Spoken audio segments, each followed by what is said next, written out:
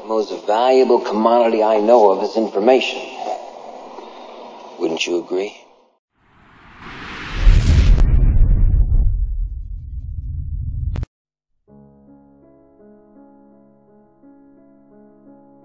That becomes the rose. I mean, it's that whole thing that the Tao teaches us, isn't it? That out of the invisibleness, out of the no-thingness, out of the space that uh, has no name. It's the space that's uh, doing nothing, but leaving nothing undone. The Tao does nothing and leaves nothing undone. And you, you are from the Tao. I'd like to just, for a few moments, speak about one more thought. I'd like to see you work at changing. To change the thought from notice me, notice me, to what Lao Tzu, Lao Tzu calls living in obscurity, becoming more obscure. We live in a uh, celebrity obsessed world, don't we? Look at me. Notice me. The Tao teaches something completely the opposite. Listen to the 66th verse of the Tao. Water again. The sea stays low. And because the sea stays low, all of the rivers and all of the streams empty into it. Because it stays humble, because it stays in that place of just allowing everything to come to you. He was trying to teach us the important lesson of uh, letting what we know is coming come to us. I've practiced this so much more now in my life than I did at one time. I can remember years ago, I was uh, I had written a book called Your Erroneous Zones back in the 70s, and um, it stayed on the New York Times bestseller list for something like 27 months. And each, many weeks it would be number one, and then it would go down to number three, and then it would go to number two, and down to seven, and all of that. And I was doing The Tonight Show in those days on a regular basis, and uh, so many of the other shows, the Merv Griffin and uh, Phil Donahue and Dinah Shore. I became like a regular on the Dinah Shore. I was like, you know, hobnobbing with Burt Lancaster folks, and uh, you know, just uh, and um, what you do is you call and uh, find out where you appear on the uh, on the bestseller list for the following week on Wednesday. So you call up on Wednesday, not for the Sunday coming up, but for the following week. And I called home, and my ego was pretty strong, and I was very much into a lot of notice me. I, I really believe that true nobility is, is not about being better than anyone else now. It's, it's about being better than you used to be. and I think I'm better than I used to be. And just about, I mean, I know that I'm better than I used to be in every quality or every characteristic that I hold to be valuable. Um, but in those days, I was into notice me.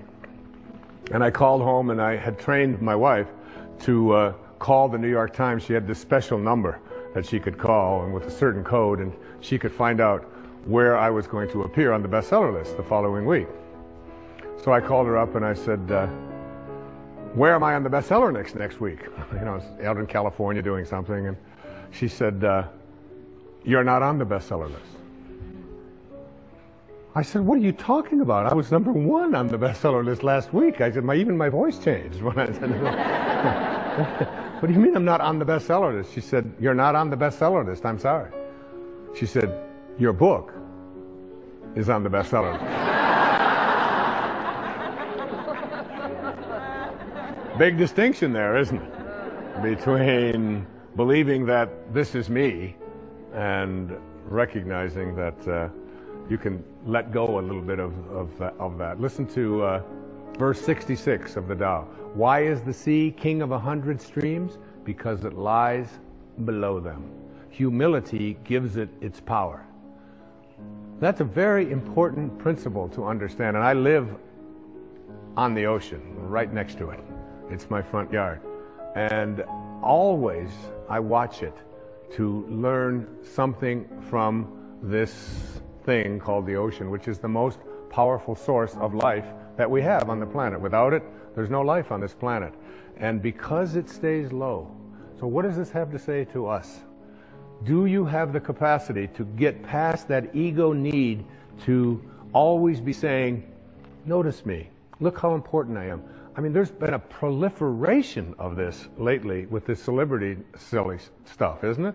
I mean, CNN is doing, you know, full hour shows on uh, on silly little things about what happened to this particular celebrity or what happened to that celebrity, and the celebrity's never even done anything. And it's, uh, there's all of this talk about, it. and all of the new magazines I mean, and you look, you go into through an airport and you look on the newsstand, and all the same photos, just with different magazines. I don't even know what, what the names of all of them are, but there's like this huge market now that we have for people to get into a state of notice me, notice me, notice me. And how much do we train our young people, particularly in our schools and so on, that the one who is the star is the one who gets the most attention. The one who is uh, the most important and the most valuable is the one that has uh, the most people liking them and so on. This constant obsession with needing to be noticed. When in fact, what I have found for myself is the the happiest moments of my life are when I can do it low and slow and not have anybody out there even know what I'm doing. To be able to, I mean, Louise never would have uh, advertised the fact of some of the things I talk about with her generosity. She does it anonymously. It's almost always done in those ways. No, look at me, look and notice me, how important I am, and so on so much to learn from that kind of wisdom, from that kind of inner connection to the Tao, the ability and the willingness to say, to do it anonymously, to say that you can just get done almost anything that you want to get done if you don't become obsessed with taking credit for it. Remember the movie The Magnificent Obsession? The movie made back, I think, in the 50s. And it was really about what was the magnificent obsession? It was the ability to be able to give anonymously. What is Alcoholics Anonymous? It is everybody stays anonymous. Nobody has a title. There's not even anybody in charge. There's nobody, there's no leaders of this. There's no president. There's no vice president. There's no organization. There's no, it's just, here's, here's a group of people who just want to help other people whose lives are out of control. So here's a meeting place. And you come and some, so one day somebody will, uh, will chair it, and then somebody else another day will chair it. And one of the things I've found when I attend one of these meetings um, is that I, I feel you'll see so many people who are downtrodden, who feel as if their life has passed them by, who look like they don't have any teeth, they haven't shaved, they're, they're dirty, they're um, God in disguise. Mother Teresa was asked the question about what she does when she was in Calcutta, and she said, Every day Every day, I see Jesus Christ in all of his distressing disguises. All of his distressing disguises. That you can see this source. You can see the Tao. You can see it when, particularly in those who are the most obscure, the most uh, isolated from everyone else. And whenever I go to one of those meetings and I hear people get up and they tell their stories, uh, they I, I always, I feel that, I feel there's so much presence of the source, of God, of spirit, of Lao Tzu, of the, of the sort, of Tao, whatever you want to call it, in one of those meetings than I've ever felt in any church. I've, I, I've never felt the presence of it more. And I encourage you, any of you watching this right now, go to one of those meetings. You don't have to be an alcoholic. You don't have to. I'm not an alcoholic. I don't call myself an alcoholic. I was never out of control. I drank, but I wasn't out of control.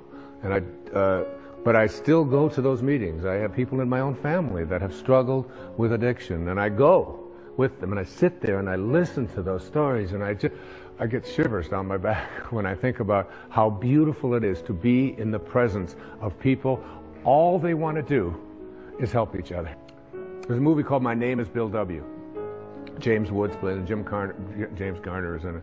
And uh, he, his life just got totally out of control with addictions, totally out of control. And then he went to a, uh, uh, he, he, he, he went to one of these meetings and he began to realize, and he said, we can, we can actually take these, uh, these people and all we have to do is, all we have to do is love them. All we have to do is, and he's so excited about the concept of being able to go out there and, and offer it. And I keep referring to Louise because she's such a hero to me.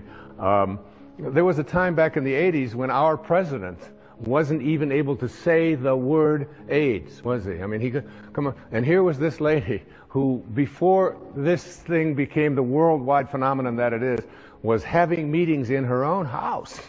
And, and, going, and, and bringing these people, these downtrodden people who had been labeled outcasts in society, and offering them a place to learn how to love each other and to care for each other. This was long before there was any celebrity status associated with trying to end this horrible crisis that our country has and our world has, has had. There was uh, James Wood so excited about the idea of we can create a place where we're anonymous. Nobody has to know anything about us. We don't have to say our names. We don't have to say anything. We just have to come there and we can help each other. And before that happened, everybody who got out of control with addictions, particularly with alcohol, would uh, would die. There was no cure. There was no cure. And where did they find their cure? They found it in being anonymous. They found it in being obscure. They found it in having no organization. They found it in having no elected representative. They found it in having no rules. There are no rules. You just come and we care. If you've been one day or one hour sober, or even if you're drunk, you come. We care about you.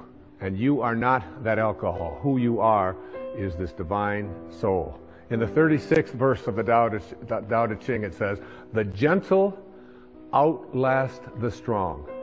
The obscure outlast the obvious.